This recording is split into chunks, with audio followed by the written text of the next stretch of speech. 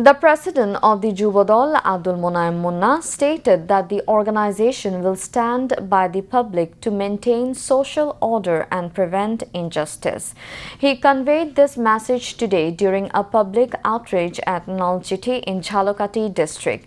During the event, he handed out leaflets to pedestrians, shopkeepers and the general public.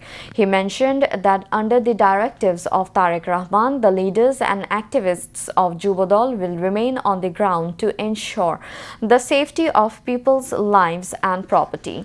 He also visited the grave of martyr Selim Talukdar who was killed in the anti-discrimination student movement in Nalchiti and offered prayers.